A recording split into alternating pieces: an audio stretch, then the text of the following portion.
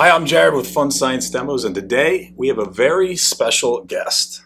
Hey everyone, my name's Christian, and I brought this really awesome bicycle today. And this bicycle has a lot of science going on all over it. Now, in previous videos, we talked a lot about simple machines.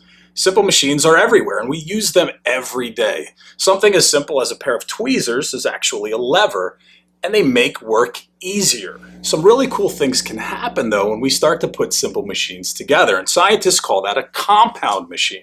This pair of scissors is actually a lever and a wedge working together to make work easier. A bicycle is the perfect example of a compound machine, and it's something that people use all over the planet and all over the world. And that's why our friend Christian is joining us today. That's right, Jared. As a matter of fact, this bicycle came all the way from Ghana in West Africa, and it's here for a very special reason today. So what kind of simple machines are at work in our bicycle? Well, let's start with levers. Can you find any levers at work on our bicycle? The first simple machine that I see are levers, here with the pedal and cranks. Let's zoom in and take a closer look. Now that we're zoomed in, let's take a closer look at our lever. Your foot goes here and applies pressure, and the lever does the work.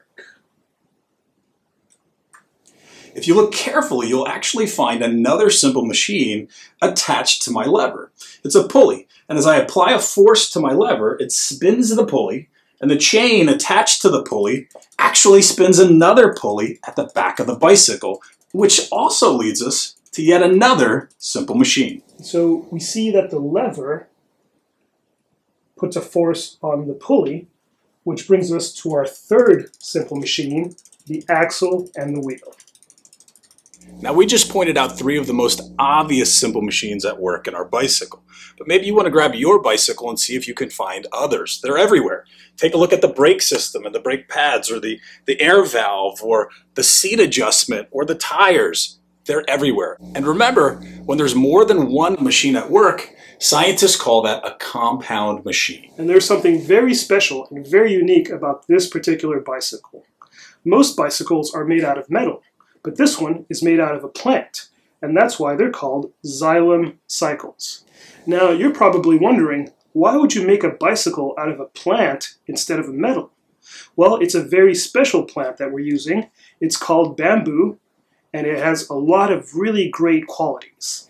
And bamboo is a very special plant because it's very strong, it grows very quickly, and it's very helpful to the environment. And we use bamboo because it's cheaper, easier to grow, and better for the earth. So the bamboo that they cut down to make this bicycle quickly regrows and we can make another bicycle and another bicycle and another bicycle. And the benefit of bamboo is that it absorbs more carbon dioxide and produces more oxygen than other similar plants. So when we use a material that grows back quickly and replenishes itself, that's good for the earth and that's sustainable.